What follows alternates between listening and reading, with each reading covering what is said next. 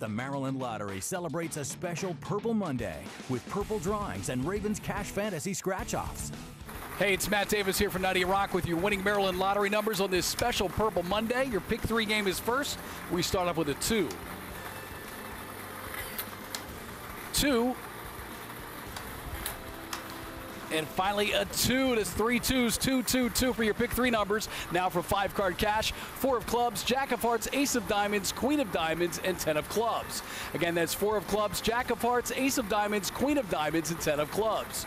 Moving on over to the pick four game, Joanne Holly is pulling your numbers tonight. We start your game off with a nine is printed on the ball. Next to four. One. And finally, a zero. Make it tonight's winning pick four number is 9410. Maryland Lottery, let yourself play.